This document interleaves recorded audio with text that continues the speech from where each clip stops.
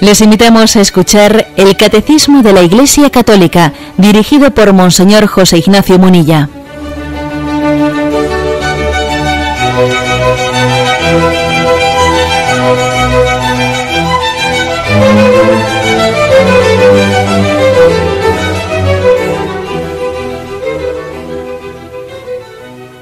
Un cordial saludo a todos los oyentes de Radio María. Un día más, con la gracia del Señor, proseguimos el comentario del Catecismo de nuestra Madre la Iglesia. Habíamos adentrado en el programa de ayer en el tema de los ángeles, la creación del cielo y de la tierra, de lo visible y lo invisible, y dentro de esa parte del credo se habla de los ángeles. Y habíamos llegado hasta el punto 331. A partir de aquí hay eh, un apartado que tiene como título Cristo con todos sus ángeles. Dice el punto 331. Cristo es el centro del mundo de los ángeles. Los ángeles le pertenecen. Cuando el Hijo del Hombre venga en su gloria, acompañado de todos sus ángeles, le pertenecen porque fueron creados por Él y para Él, porque en Él fueron creadas todas las cosas, en los cielos y en la tierra, las visibles y las invisibles, los tronos, las dominaciones, los principados, las potestades, todo fue creado por Él y para Él. Colosenses 1.16. Le pertenecen más aún porque los ha hecho mensajeros de su designio de salvación. Otra cita ahora. Es que no son todos ellos espíritus servidores con la misión de asistir a los que han de heredar la salvación. Hebreos 1.14. Bien, habíamos hablado en el programa anterior de la existencia de los ángeles, habíamos hablado que es una verdad de fe su existencia, y habíamos también explicado quiénes son los ángeles, espíritus puros, que son enviados de Dios, servidores suyos. Bueno, pues ahora, en el punto 331 se hace una afirmación añadida que es importante. Es decir, no, no nos dirijamos a los ángeles, no pensemos en los ángeles, como algo al margen de Jesucristo, porque es que ellos han sido creados por Él y para Él, han sido creados por Cristo y para Cristo. Entonces sería una mm, desequilibrada angeliología o espiritualidad con respecto a nuestra fe en los ángeles, aquella que les diese un culto al margen de Jesucristo. Sería una forma, digamos, desequilibrada. ¿eh? Por supuesto que también la Iglesia tiene sus fiestas litúrgicas, eh, los arcángeles, etcétera, y, celebramos esas fiestas litúrgicas, pues la de San Miguel, San Gabriel, Tobí, etcétera, etcétera, no Rafael. Pero eso, eso no quiere decir el hecho de que le reservemos una fiesta litúrgica, al igual que los santos, al igual que los santos, cuando veneramos a un santo, en el fondo lo que estamos haciendo es ensalzar más la realeza de Jesucristo, ensalzar más al santo que les hizo santos. Y el que les hizo santos a los santos es Jesucristo. ¿Quién hizo santa a Santa Teresa? ¿Quién hizo santa pues a, cualquiera, a cualquiera, no Santa Catalina de Siena? ¿Quién hizo santo a San Juan de la Cruz? Jesucristo les hizo santos, el Espíritu Santo les hizo santos. Vamos, aquí pasa algo por el estilo. ¿eh? El culto que, que dirigimos a los ángeles es un culto que no hace sino ensalzar el cristocentrismo. ¿eh? El cristocentrismo. En esos retablos barrocos ¿eh? que se han solido, pues, entre comillas, ¿no? estéticamente adornar por angelillos o angelotes, así muy simpáticos ellos, que a veces se les suele poner muy, rollizos o gorditos ¿eh? alrededor eh, pues del, retablo, etcétera, alguno puede pensar que esos ángeles dibujados así en los retablos barrocos, no sé, son como una pieza de decoración, un elemento decorativo. Y no, se equivoca. ¿eh? Son mucho más que un elemento decorativo. esa especie de marco en el que igual se representa en un retablo la historia de la salvación y, en los contornos no están esos ángeles o querubines, esos querubines mm, representados así. Eso no es un marco decorativo, ¿eh? es la imagen de lo que dice aquí el catecismo, que Cristo es el centro del mundo de los ángeles. Es el centro del mundo de los ángeles. También, pues, por ejemplo, estoy pensando en, en la capilla Sistina, en esa impresionante representación de Miguel Ángel del juicio final, de la historia de la salvación, en la que los ángeles son el marco, porque Cristo es el centro del mundo de los ángeles.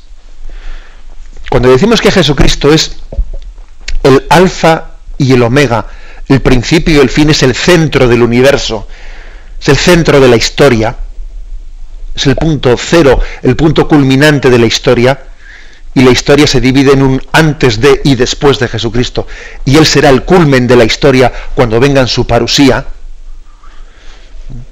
bueno, pues eh, no excluimos a los ángeles. Es decir, eso, eso de que Cristo es el centro del universo y del tiempo, del espacio y del tiempo, eso incluye a los ángeles. Y entonces en la Sagrada Escritura se habla de los ángeles como seres que pertenecen a Jesucristo. Por ejemplo, fíjate, Mateo 25, 31. Cuando el Hijo del Hombre venga en su gloria acompañado de todos sus ángeles, podría decir acompañado de los ángeles, no, pero dice de sus ángeles. O sea que los ángeles son suyos, son de Jesucristo, han sido creados por Él y para Él, son sus enviados. ¿Eh? Por y para, creados por Cristo y creados para Cristo, para servirle, para ser sus enviados, para que tengamos, al modo de aquella escala de Jacob eh, que en el Antiguo Testamento se representa, ¿no? para que tengamos esa especie de vía de comunicación inmediata, inmediata con, con, Dios, para asistir en nuestra comunicación con Dios, para ser introductores, para ser embajadores. Hay un texto de Hebreos, aquí 1.14, que es un texto que tenemos que reconocer que igual nos sonará menos a menos conocido, porque hay pasajes de la Sagrada Escritura, bueno, pues que nos suelen resultar mucho más familiares y otros uno dice, pues no lo había escuchado nunca. Fijaros este Hebreos 1.14. Es que no son todos ellos espíritus servidores con la misión de asistir a los que han de heredar la salvación. O sea, nosotros tenemos que heredar la salvación, estamos llamados a alcanzar esa heredad de la salvación y los ángeles son espíritus servidores que nos tienen que asistir, nos tienen que ayudar para alcanzar. O sea, los ángeles no tienen otra razón de, de ser en su servicio que el hecho de que alcancemos la salvación.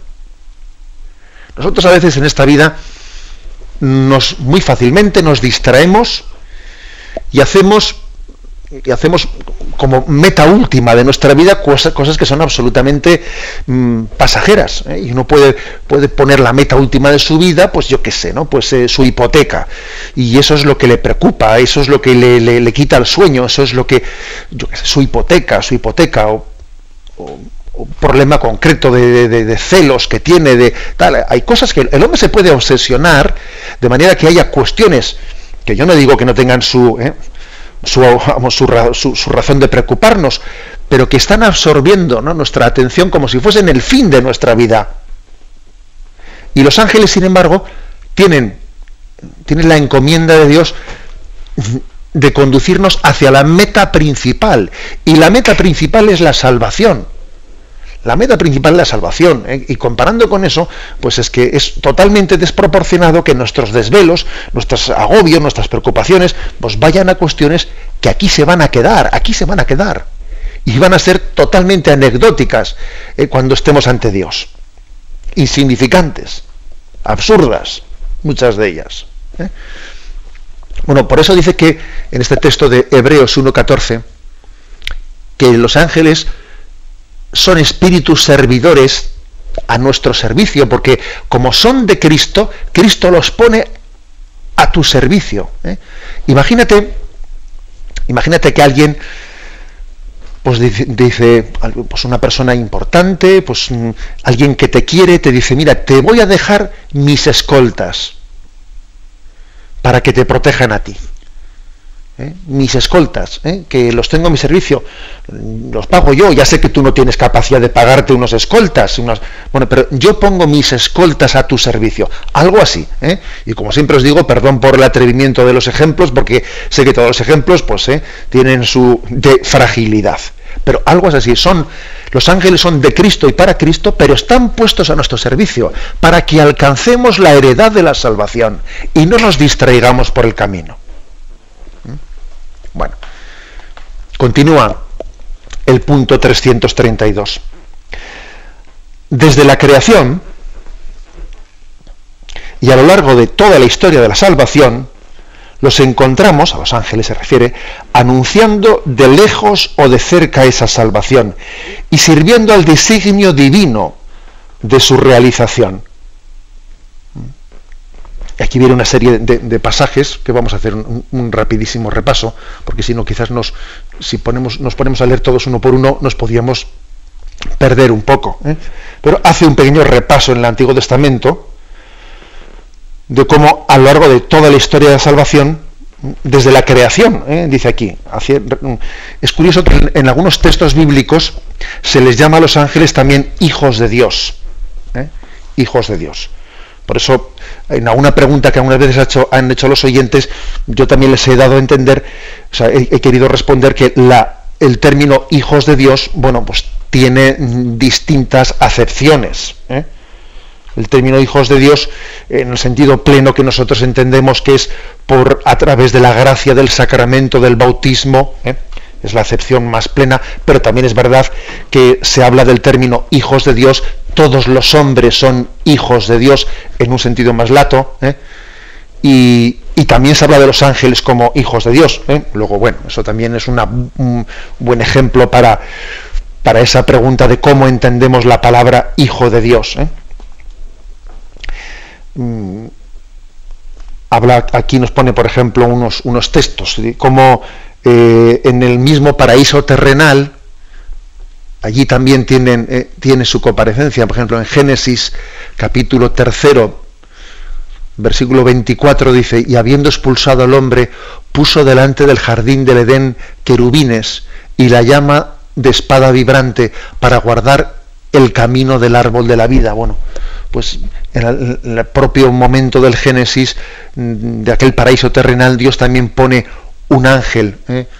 pone unos querubines guardando el paraíso, el paraíso, guardando el camino hacia el árbol de la vida. ¿eh? O por ejemplo, en Génesis 21, 17,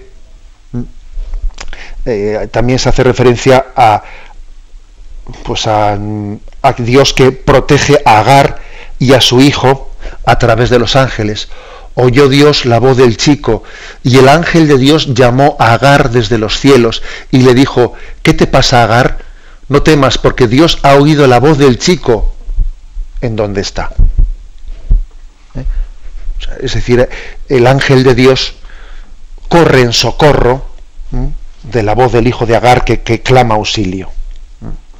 Por ejemplo, Génesis 22, eh, 11 Ahí se detiene la mano de Abraham que va a sacrificar a su hijo Isaac cuando está a punto de detenerlo, pero a punto de sacrificarlo. Entonces el ángel de Yahvé desde los cielos le llama diciendo, Abraham, Abraham. Él le dijo, heme aquí, no sacrifiques a tu hijo. Ahora veo, es decir, el ángel de Dios es, parte de esa teofanía, de esa manifestación de Dios eh, ante Abraham. La ley es comunicada por su ministerio, dice aquí eh, Hechos 7:53. Vosotros que recibisteis la ley por mediación de ángeles y no la habéis guardado. Es curioso, ¿eh? Dice, vosotros que recibisteis la ley por medio de los ángeles. Bueno, mm, la ley fue dada por medio de Moisés, pero también aquí se habla de que la ley fue dada por medio de los ángeles. O sea, es decir, también los ángeles eh, eran, fueron el marco el marco de esa entrega de la ley a Moisés. ¿eh? Podemos imaginarnos, ¿eh? no, sé, pues en un esfuerzo, un esfuerzo también de, visión mística, ¿eh?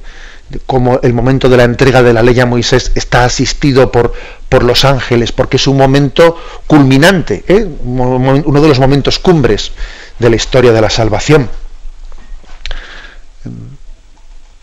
Éxodo 23, mm, versículo 20 y siguientes, cómo conduce Dios a su pueblo Israel por el desierto eh, gracias a sus ángeles. He aquí que yo voy a enviar un ángel delante de ti, para que te guarde en el camino y te conduzca al lugar que te tengo preparado. ¿Mm? Pórtate bien en su presencia y escucha su voz. No le seas rebelde, que no, que no perdonará vuestras transgresiones, pues en él está mi nombre. Si escuchas atentamente su voz y haces todo lo que yo te diga, tus enemigos serán mis enemigos y tus adversarios mis adversarios. Mi ángel caminará delante de ti y te introducirá en el país de los amorreos, de los hititas, de los perecitas, de los cananeos, de los gibitas y de los jebuseos. Es uno de los textos más potentes ¿eh? En torno a la espiritualidad de los ángeles. Yahvé le dice a, a Israel, que va al pueblo de Israel que tiene que peregrinar a través del desierto, mira que yo voy a enviar un ángel delante de ti para que te guarde en tu camino. Aquí vemos ya, pues eh, comenzamos ya a ver eh, adelantada lo que yo, lo que después la doctrina de la Iglesia Católica habló del ángel de la guarda, del santo ángel de la guarda que cuida de cada uno, de cada uno de nosotros. ¿eh? Pórtate bien en su presencia, escucha su voz, no le seas rebelde. O sea, lo propio de una espiritualidad equilibrada, equilibrada de nuestra fe en los ángeles es que nosotros seamos dóciles a la acción de Dios no ser rebelde, ser dócil. Los ángeles son dóciles y entonces lo que, lo que se espera de nosotros es que nosotros seamos dóciles, porque somos asistidos por los ángeles y prontos a escuchar la voz y prontos a seguir eh, esas intuiciones de que la gracia de Dios nos siembra en nosotros. Bien, pues este, este texto yo diría que es de los más, eh, de los más fuertes o de los más impactantes. También aquí se refieren eh, algunos otros, por ejemplo, anuncian en los nacimientos, anuncia las vocaciones, por ejemplo, Isaías 6:6, ¿eh? entonces voló hacia mí uno de los serafines con una brasa en la mano, que con tenazas había tomado sobre el altar y tocó mi boca y dijo, he aquí que he tocado tus labios, es decir, una, una imagen de la, de la vocación de Isaías, un ángel que con unas tenazas coge una brasa, y toca la boca de Isaías para abrir la boca, para que su boca sea boca de fuego. Bueno, también esa imagen de la vocación se hace a través de un ángel. ¿eh? Asiste a los profetas, ¿eh? por ejemplo, Elías cuando, cuando va por el desierto escapándose y se, y se, mm, se deja ya morir, ¿no? porque no tiene fuerzas, se, sienta bajo la sombra de una retama para dejarse morir ya, y entonces dice que se acostó y se durmió bajo una retama, pero un ángel le tocó y le dijo, levántate y come. Y se lo dijo una y otra vez. Y entonces miró y vio a su cabecera una torta cocida sobre piedras calientes y se levantó y cola. Y con la fuerza, y comió, y con la fuerza de aquel alimento fue capaz de traspasar el, el desierto. Esa imagen de Elías asistido por el ángel pasando el desierto, es imagen de cada uno de nosotros, que también tenemos que atravesar el desierto de esta vida, porque esta vida tiene algo de desierto, al mismo tiempo que tiene sus oasis, y necesitamos en los momentos de desierto especialmente la asistencia de los santos ángeles, como la tuvo Isaías, ¿no? perdón, como la tuvo Elías, y ese levántate y come, no te dejes, no te dejes vencer, no te dejes derrotar, levántate y come, es la voz del santo ángel que nos dice, levántate y, recurre a los sacramentos, levántate y no te dejes caer, levántate y ora, levántate y lucha. ¿Mm? O sea, como veis la, la Sagrada Escritura, ¿Mm? en los profetas, etcétera, nos, nos está también dando a entender, es como una pedagogía para que entendamos cómo obran los ángeles en nosotros. ¿Cuál es su forma de actuación? Levántate y come. Tenemos un momento de reflexión y continuaremos enseguida.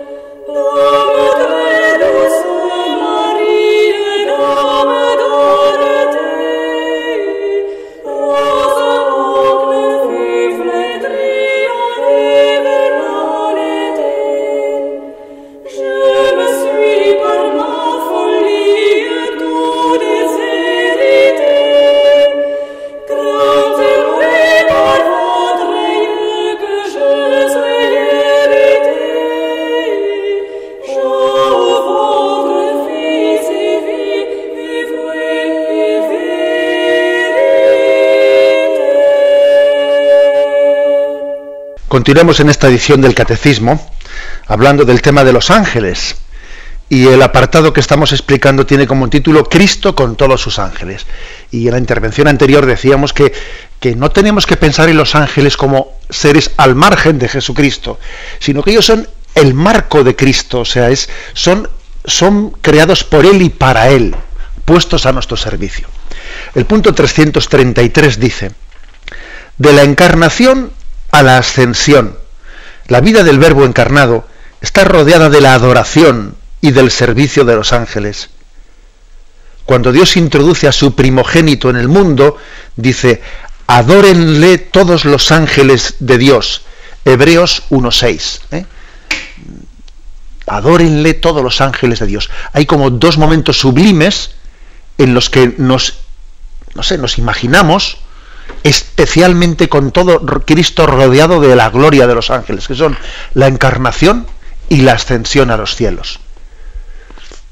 El momento de la encarnación en el que María recibe el anuncio del, arcángel Gabriel.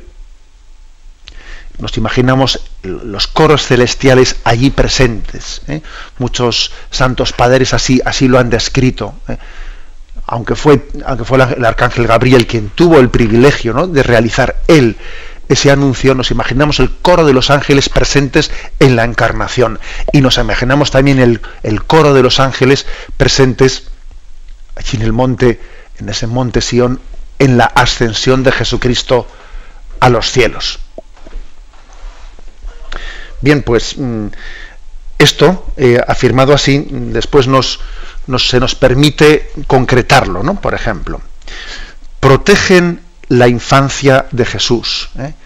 El pasaje entrañable en el que un ángel se le aparece en sueños a José y le dice, José, hijo de David, no temas tomar contigo a María, tu mujer, porque lo engendrado en ella es obra del Espíritu Santo. Es decir, es un ángel el que le dice a José, José, tú, tú formas parte también de este designio de salvación sé que estás turbado.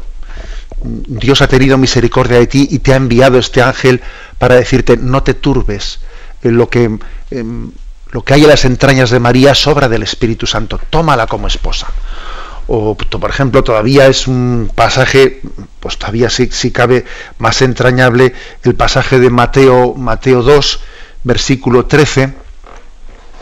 Mm, después que ellos se retiraron, el ángel del Señor se apareció en sueños a José y le dijo, levántate, toma contigo al niño y a su madre y huye a Egipto y estate allí hasta que yo te diga, porque Herodes va a buscar al niño para matarlo. El aviso del ángel, Dios envía un ángel para avisarle de los peligros. Fijaros que esa misión, eh, esa misión de los ángeles, advirtiendo de los peligros, ¿no? avisándole de los peligros, ¿quién nos dice a nosotros eh, que en nuestra vida no estemos siendo continuamente asistidos, continuamente siendo protegidos. Es verdad que tenemos que creer en esto en la fe. ¿eh? O sea, le decía yo ayer a un oyente que llamaba en el turno de preguntas que no es prudente que intentemos identificar pues la asistencia de los ángeles de una manera sensacionalista. Es que yo no te sentí ni, o sea, no, es bueno que eh, no, es sano espiritualmente que intentemos pues como eh, casi, iba a decir yo, materializar la existencia de los ángeles en visualizaciones, en hipotéticas visualizaciones, es que yo vi algo, o, no, eso no es sano espiritualmente. Pero sí en la fe, en la fe, eh, nosotros sabemos que Dios nos está protegiendo a través de los ángeles y de cuántos peligros no estamos siendo, siendo librados y cómo estamos siendo conducidos en medio de las dificultades de la vida. Lo podemos suponer, eh, fácilmente lo podemos suponer, a tenor de lo que hizo en la Sagrada Escritura, con los profetas, con Jesucristo. ¿eh?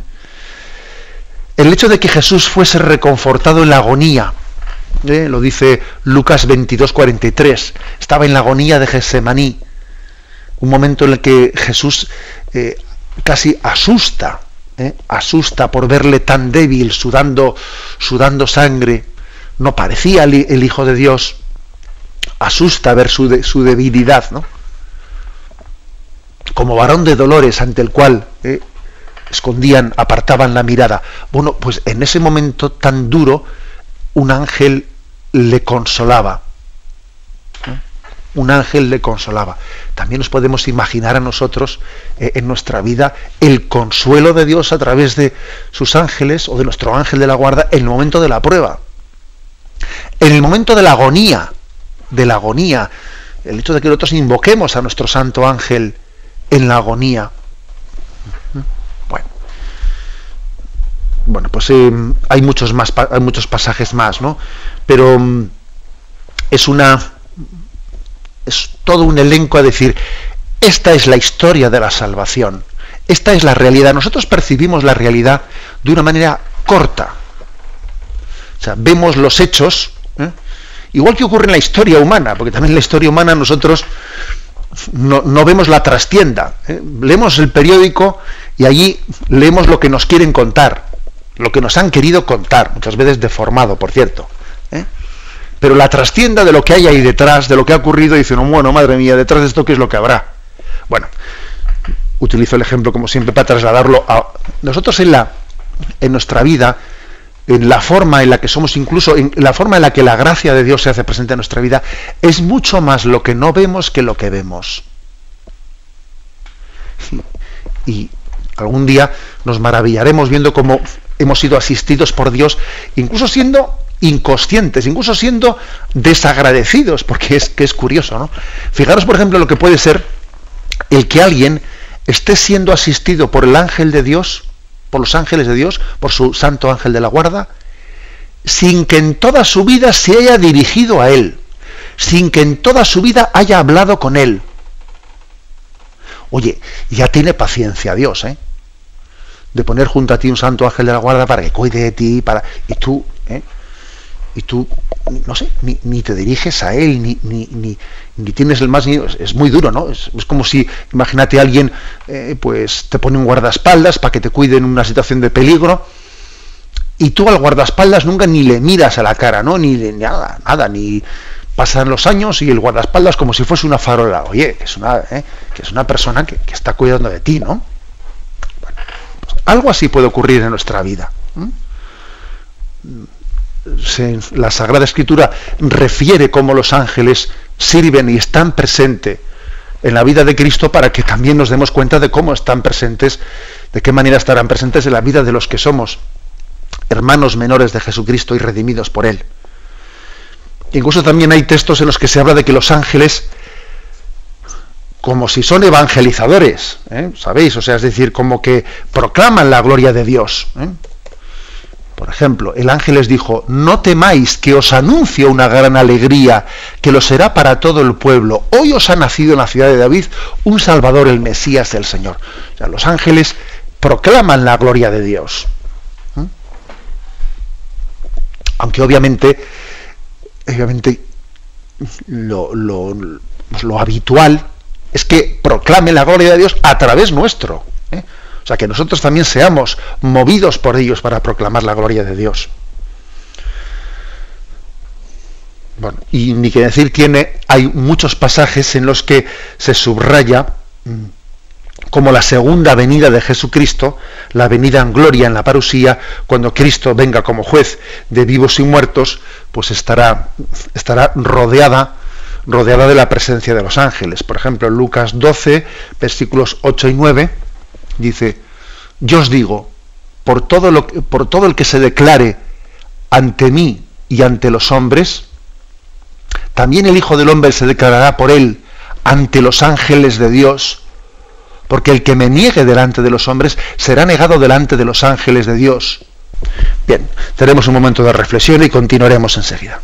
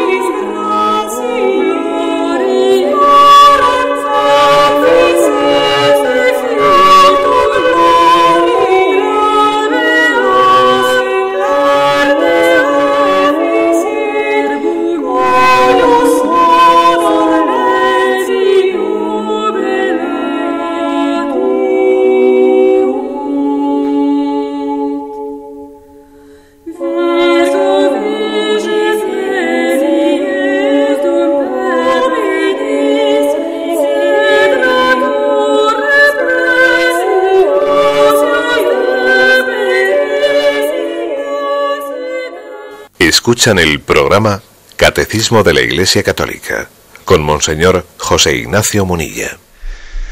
Pasamos al apartado, el anterior era Cristo con todos sus ángeles y este es los ángeles en la vida de la Iglesia. El punto 334 dice, He aquí que toda la vida de la Iglesia, perdón, de aquí que toda la vida de la Iglesia se beneficie de la ayuda misteriosa y poderosa de los ángeles esa asistencia que ha tenido que ha tenido los, los ángeles a la vida de Jesucristo. Eh, Cristo es la cabeza de la iglesia. La iglesia es el cuerpo místico de Cristo. Luego, obviamente, los que asistieron a la cabeza asisten al cuerpo de Cristo.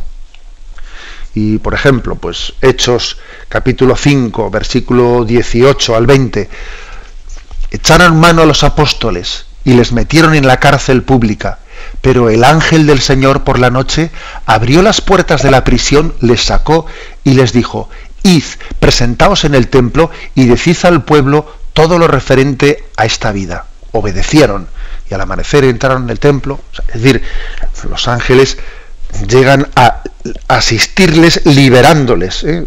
de la prisión. O por ejemplo, Hechos de los Apóstoles capítulo 8, versículo del 26 al 29, el ángel del Señor habló a Felipe diciendo, levántate y marcha hasta el mediodía por el camino que baja de Jerusalén a Gaza. Es desierto, se levantó y partió, y he aquí que un etíope eunuco, alto funcionario de Candace, reina de los etíopes, que estaba a cargo de todos sus tesoros, eh, regresaba, y entonces el ángel le envía a Felipe para, para evangelizar aquel etíope y le bautiza. ¿eh? El ángel eh, le, le, envía a la iglesia a predicar. O sea que también en los hechos de los apóstoles vemos cómo los apóstoles son asistidos por los ángeles como Jesucristo era asistido por los ángeles. Lo que quiere decir que nosotros tenemos que darnos cuenta de que la iglesia de Cristo es asistida por sus ángeles. Y en esto pensamos poco, ¿no? Claro, uno dice estas cosas y dicen, pero bueno, este, estos discursos son unos discursos un poco eh, desencarnados, ¿no? Fuera de la realidad. Oiga, mire usted, hablamos, hablamos desde la fe y desde la revelación de la Sagrada Escritura. La revelación de la Sagrada Escritura nos da un conocimiento de la realidad mucho más profundo que el que podemos tener únicamente a través de unos juicios racionales. Lo que estamos diciendo no es irracional, no, no es un conocimiento que va, es más allá de la razón, es suprarracional, pero no es irracional. ¿Eh? los santos ángeles están asistiendo al Papa, están asistiendo a la Iglesia. ¿Eh? Bien, el punto 335. En su liturgia, la Iglesia se une a los ángeles para adorar al Dios tres veces santo invoca su asistencia. Así en el súplices te rogamos, te pedimos humildemente del canon romano, o el imparadisum deducant te angeli, al paraíso te lleve los ángeles, de la liturgia de los difuntos, o también en el himno querubínico de la liturgia bizantina, y celebra más particularmente la memoria de, los, de ciertos ángeles, como San Miguel, San Gabriel, San Rafael, los ángeles custodios. O sea que en la liturgia, primero, eh, aquí como veis el catecismo también hace referencia a la liturgia oriental, a la liturgia bizantina. Eh. Primero que nosotros tenemos la memoria de eh, San Miguel, San Gabriel, San Rafael y los santos ángeles custodios. Eso es lo primero. Pero no únicamente eso, es que además también pues, por ejemplo, en el, en el canon romano, en el primer, eh, ese primer canon, en el que le llamamos canon romano, hay una expresión que dice que este sacrificio se ha llevado por tus ángeles ante tu presencia. Aquí en San Sebastián hay una iglesia, una iglesia en la que el altar, en vez de tener unas columnas, pues eh, para sujetar el altar, tiene unos ángeles que están debajo, debajo del altar, eh, como si fuesen ellos los, ¿eh? los pivotes que sostienen el altar, unos ángeles. Y la verdad es que es una evocación maravillosa de esa parte del canon romano que dice que este sacrificio se ha llevado por tus ángeles ante tu presencia. Los ángeles son como la patena de la iglesia que eleva el sacrificio de Cristo y lo ofrece al Padre. Mm, y también aquí hay una referencia hermosa, muy hermosa, a, la liturgia de los difuntos. Al paraíso te lleven los ángeles. podemos pensar que los ángeles, igual que decimos, ¿no? que en el momento de la ascensión de Cristo a los cielos es un momento en el que eh, toda la angeleología eh, llega a su culmen porque Cristo asciende más alto que todos los ángeles y es, digamos, de alguna forma eh, en, pues entronizado ¿no? en, torno, en torno a ellos, ¿no? ellos forman parte del escabel de sus pies. ¿no? Bueno, pues también nosotros podemos pensar que el momento de, de partir de esta vida y de presentarnos delante de Dios, no nos presentamos solos. Cristo nos envía a sus ángeles para presentar al paraíso te lleven los ángeles. ¿Eh? Qué importante es que crezcamos en sensibilidad. ¿no? Tengamos en cuenta que uno de nuestros problemas principales es el materialismo. ¿eh? El materialismo nos hace, es, una gran tentación para hacernos ateos, o por lo menos incrédulos, o por lo menos eh, pues muy reticentes ¿no? a, lo sobrenatural, porque el materialismo eh, hace que uno crea en lo que puede tocar y palpar, ¿no? Y entonces, ¿qué es eso de los ángeles? Eso es una cosa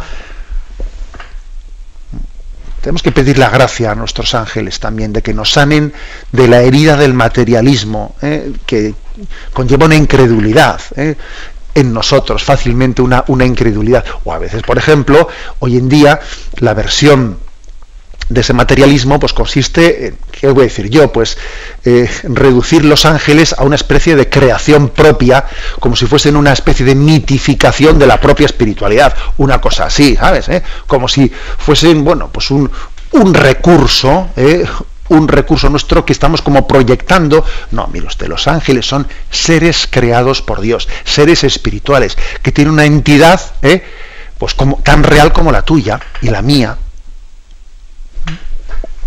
Bien, pues eh, digamos que en la liturgia, en la liturgia, que es lo que estamos aquí hablando, el punto 335, pues es que es obvio. ¿eh?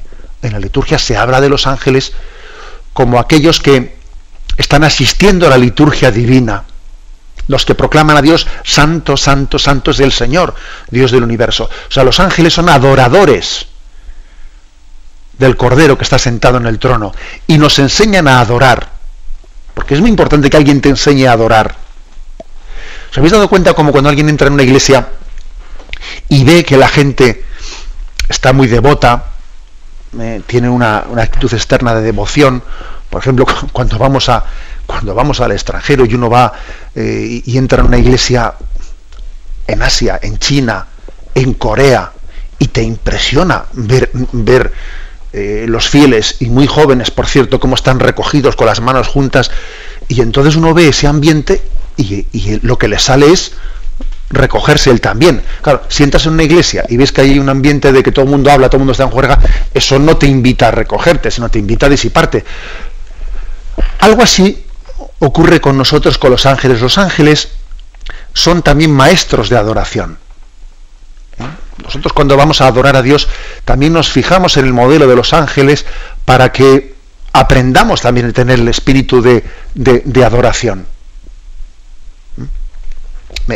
por ejemplo, me estoy acordando de cómo los niños de Fátima mm, fueron preparados un año antes de las apariciones con la Virgen María, mm, fueron preparados con las apariciones de un ángel que les enseñaba a adorar.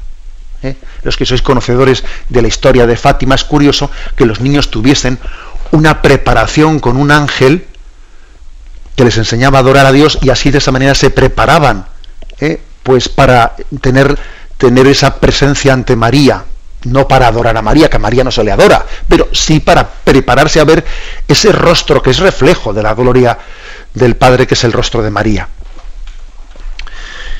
Bien, la liturgia pues eh, es también una escuela de, mm, de angeliología, una escuela de ver cómo los ángeles se integran en la adoración de Dios. Y por último, concluimos con el punto 336. ¿eh? Desde la infancia a la muerte, la vida humana está rodeada de su custodia y de su intercesión. Cada fiel tiene a su lado un ángel como protector y pastor para conducirlo a la vida.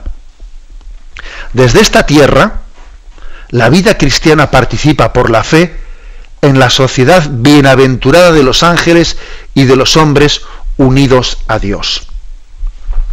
Afirmación central aquí. Cada uno, esto lo dice aquí un texto de San Basilio, cada uno de nosotros tiene un ángel protector, un ángel custodio. Es verdad que eh, pues no tiene el mismo eh, grado de definición dogmática eh, el de la existencia de los ángeles que el hecho de la existencia de que cada uno tengamos un, ángel custodio. No tiene el mismo grado de definición, de definición de fe dentro de la jerarquía de las verdades de fe de la Iglesia. Pero la fe católica afirma también la existencia de un ángel custodio para cada uno de nosotros. Y, y es curioso que aquí dice, y ese ángel nos cuida desde la infancia hasta la muerte. Y aquí recurre a dos textos. Mateo, Mateo 18:10 dice, guardaos de menospreciar a uno de estos pequeños, porque yo os digo que sus ángeles en los cielos ven continuamente el rostro de mi Padre que está en los cielos. O sea que los niños ya tienen un ángel de la guarda. Jesús dice, guardaos de menospreciar a uno de estos niños, porque sus ángeles están viendo, fijaros esto aplicado al aborto. Guardaos de hacer daño a ese niño que está en el seno de su madre, porque su ángel, su ángel, está viendo la gloria de Dios en el cielo. Verdaderamente, eh, uno se estremece pensando en esto. Eh, nuestra concepción del aborto cambiaría bastante, ¿no? Si pensásemos en esto. Oiga, eh, ¿cómo, no va a ser persona? ¿Cómo no va a ser persona ese que tiene un ángel contemplando la gloria del cielo, contemplando al Padre en el cielo? ¿Eh? Impresionante, ¿eh? Mateo 18, 10. Guardaos de menospreciar a ninguno de estos niños pequeños, porque yo os digo que sus ángeles en los cielos ven continuamente el rostro de mi Padre que está en los cielos. Y por contraste, ¿eh? se nos ofrece Lucas eh, capítulo 16, versículo 22, y allí dice, sucedió pues que murió el pobre, es el, el, texto de Lázaro y Pulón, ¿no? Sucedió pues que murió el pobre y fue llevado por los ángeles al seno de Abraham murió también el rico y fue sepultado, estando en el tormento del infierno. Es curioso que a la hora de narrar en esa parábola del, pobre Lázaro, se utilice la expresión de que fue llevado por, el, por su ángel al seno de Abraham. Que los ángeles te conduzcan al paraíso, decimos nosotros, ¿no? En el canto litúrgico de difuntos. Fue llevado por. ¿eh? Es curioso, ¿no? Fue llevado por los ángeles al seno de Abraham. Como veis, la fe católica tiene firmes bases bíblicas. Aquí la, fe católica e, es bíblica, es plenamente bíblica. A veces ha acusado, ¿no? Ridículamente, pues que el dogma católico se ha hecho sin, sin, no sé, al margen, como una tradición al margen de la Biblia, en absoluto. Fijaros cómo el catecismo de la Iglesia Católica está absolutamente salpicado, ¿no? O sea, está totalmente fundamentado en los textos bíblicos. O sea que desde nuestra infancia, hasta nuestra muerte estamos asistidos por los ángeles e interceden, son intercesores. ¿eh? Por ejemplo, ¿eh? tenemos el libro de Job, capítulo 33, versículo 23 al 24. Si hay entonces junto a él un ángel, un mediador escogido entre mil, que declare al hombre su deber, que de él se apiade y diga, líbrame de bajar a la fosa, yo he encontrado el rescate de su alma. Es decir, ese ángel es mediador intercesor que intercede por él para librarle de bajar a la fosa. ¿Mm? Bien, pues lo dejamos aquí. Al final hemos concluido afirmando, ¿no? En ese texto de San Basilio, afirmando la existencia de los santos ángeles de la guarda que cuidan de nosotros. Voy a decir una cosa y es que cuando uno lee la vida de, de los santos, te impresiona ver eh, la intimidad que tenían muchos de estos santos con sus santos ángeles de la guarda. Nosotros a veces vivimos muy, muy olvidados de ellos, ¿no? Algunos santos han tenido hasta el atrevimiento de ponerle un nombre a su ángel de la guarda, de ponerle nombre. ¿eh? Y es que, y es que yo recuerdo haber leído la vida de Alexia, de esta niña de Madrid que, bueno, pues que está introducido su proceso y que murió de un cáncer hace, unos años, ¿no? Y me impresionaba cuando leía su vida la intimidad que tenía con su ángel de la guarda, que le ponía un nombre, ¿no? que parecía el nombre el mayordomo, y, y, hablaba con él, y yo me daba cuenta y decía, tenemos una carencia grande. Los santos han tenido una, una intimidad con sus ángeles la guarda que nosotros, pues por influjo de este materialismo y de este racionalismo del que estamos imbuidos, pues estamos muy olvidados.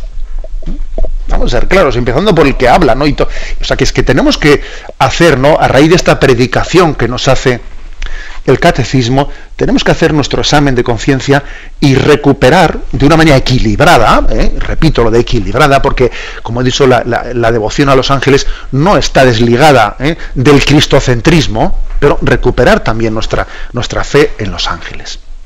Lo dejamos aquí, damos paso a la intervención de los oyentes. Podéis llamar para formular vuestras preguntas al teléfono 917-107-700. 917-107-700.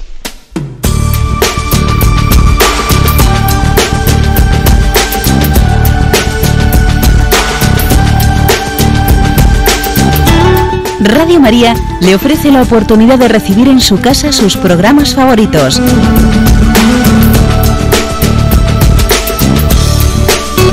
Ahora lo puede hacer a través de nuestra página web www.radiomaria.es o bien llamándonos al 902 500 518. 902 500 518. Pídanos el programa que más le interesa en cualquiera de sus emisiones, especificando el día y la hora que lo ha escuchado. Solo nos tiene que decir si lo quiere en CD de audio o CD o DVD en MP3. Haga su solicitud en el 902 500 518 y en www.radiomaria.es. Radio María, más cerca de usted. Escuchan el programa Catecismo de la Iglesia Católica con Monseñor José Ignacio Munilla. Sí, buenos días. ¿Con quién hablamos? Buenos días, con Inmaculada de Málaga. Adelante, Inmaculada. Estoy un poquito acatarrada, es la primera vez que tengo la suerte de entrar en el programa. Adelante, Inmaculada. Pues verá, mm, Monseñor, son dos consultas las que le quiero hacer, pero brevemente, con toda humildad, ¿eh? Con toda humildad. Mire, padre, yo llevo como 20 años o más observando en las iglesias que está el Señor tirado por los suelos, así como se lo digo, ¿eh? Yo lo he recogido muchas veces, sagrada forma entera, trozos como la uña y partículas más pequeñitas. Entonces yo la he visto, al principio me compré un portaviático para meterlo allí y, y dárselo a un sacerdote para que él los purificara, pero ya últimamente lo que hago es que yo las cojo y allí mismo de rodillas en el suelo las consumo. Entonces, mm, yo esto lo digo, lo digo, pero no. Algunos sacerdotes es verdad que ponen el copón la, para que no caigan, porque ya se lo he dicho a varios, pero otros que se burlan, directamente se burlan. Que ahí no está el Señor, que eso no es el Señor, que esos son trozos que caen del techo, una serie de, bueno, mire padre, horrible. Entonces, yo ya lo que hago es, mi pregunta, ahí está el Señor y luego, lo que hago es que directamente yo con el dedo, la yema del dedo, la consumo. Y yo digo, Monseñor, esto da lugar a esto otra, otra pregunta que le voy a hacer. Tengo amigas que los tienen en sus casas porque lo han cogido entera. La Sagrada Forma entera la tienen en sus casas, el Santísimo. Otra se ha comprado una custodia y la va recogiendo de tantos años, lleva recogiendo todas las partículas pero de 20 años, ¿eh? Y las tiene, y ya ha formado una sagrada forma entera, entera, que la tiene allí, yo la he visto, la tiene en su casa. Y yo digo, ella tiene autoridad para hacer eso, esas partículas están ya corrompidas después de tantos años. Esas son mis dos preguntas, se las hago con toda humildad, ¿eh? De acuerdo, bueno, gracias por su, por su transparencia. Vamos a ver, pues evidentemente usted me está hablando de algo que, que, es, mm, que no es ni medianamente normal. Eso de que alguien recoja una forma y la lleve a su casa y la tenga allí como adoración, yo algún caso he conocido y por supuesto que yo lo he desautorizado radicalmente. Radicalmente. Incluso, eh, aunque pretenda como justificarse eh, sobrenatural, es que la, la, sagrada, la Sagrada Eucaristía ha sido puesta en manos de la Iglesia pues para que la administre pues para que para que seamos, la adoremos y para que reparta la comunión y no para que uno la tenga en su casa bueno por lo tanto es un caso grave que además yo pienso que debería de ser denunciado ¿eh? denunciado ante el sacerdote eso no puede quedar ¿eh? yo un, caso he conocido así en la vida y por supuesto que lo denuncié inmediatamente con respecto a la, primera parte mire eh, a mí me parece demasiado grave lo que usted dice para ser verdad puede ocurrir que en alguna ocasión haya algún eh, pues alguna partícula, alguna, un trozo de, la Eucaristía que esté caído y por supuesto uno tiene que tener la delicadeza de recogerlo, de recogerlo y pues como dice usted de consumirlo el mismo, lo que sea. Pero mire, eh, el hablar de eso como algo generalizado, como que ocurre en la Iglesia, o sea, no, tengamos cuidado también de, no, eh, de no elevar a tesis, lo que me parece muy difícil que sea, ¿eh? que sea un hecho eh, generalizado. ¿eh? Lo digo porque es que podemos ser tentados, mire, podemos ser tentados de dos cosas. De falta de delicadeza con el Señor en la purificación de la Eucaristía, que de esto hay mucho, mucho, pero también podemos ser tentados un poco de obsesión, de, estar un poco a la caza de, la, de una partícula que no sé si es una partícula eucarística o es un trozo de pintura que ha caído de arriba de la iglesia. ¿eh? O sea que es que eh, tenemos que cuidar porque es que el demonio tiene capacidad de tentar por un lado y por el otro.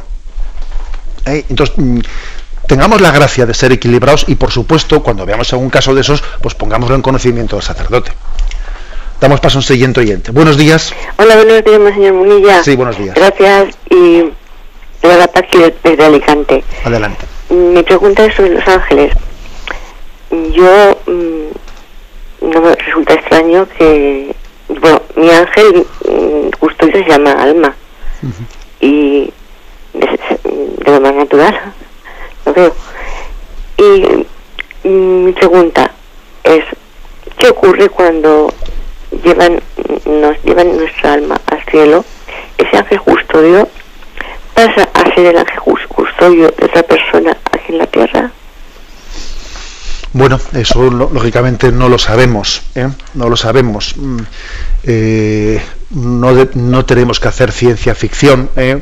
porque vamos a tenernos a los datos que conocemos por la fe. Sabemos que Dios nos ha dado un santo ángel de la guarda. A mí me parece que el santo ángel de la guarda perfectamente puede ser nuestro compañero en el cielo para siempre, porque el, premio para un ángel que ha cuidado de nosotros es participar en el cielo de la gloria del Padre. ¿eh? O sea que a mí, me parece, yo me inclino por esta interpretación que le, que le hago. ¿eh? Me parece a mí que es más, no sé, mm, no sé, más, un poco más lógica. Aunque sea brevemente, damos paso al último oyente. Buenos días. Hola, buenos días. Sí, buenos días, adelante. Eh, pues vamos a ver, mire, yo no le voy a hacer preguntas, simplemente yo quería dar testimonio sobre el ángel de la guarda.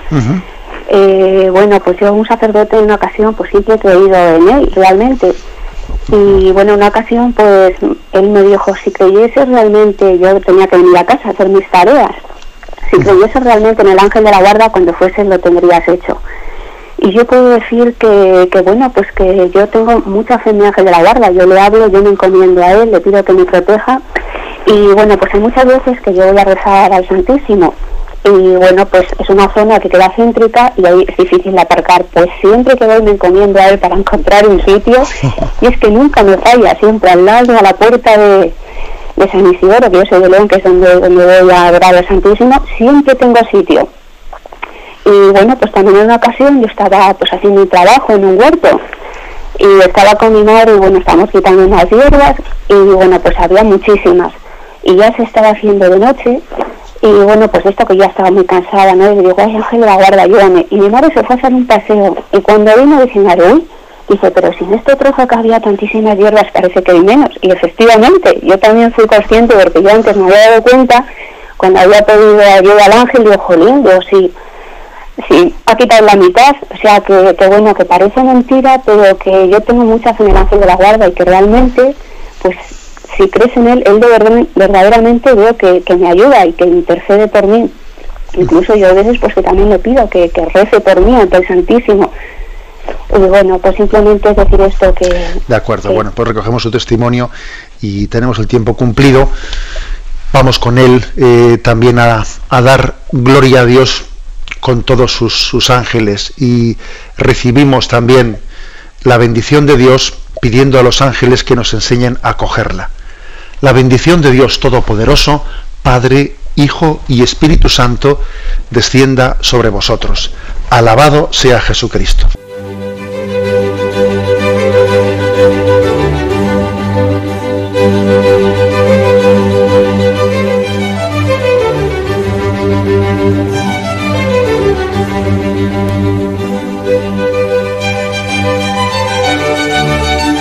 Han escuchado en Radio María el Catecismo de la Iglesia Católica, un programa dirigido por Monseñor José Ignacio Munilla.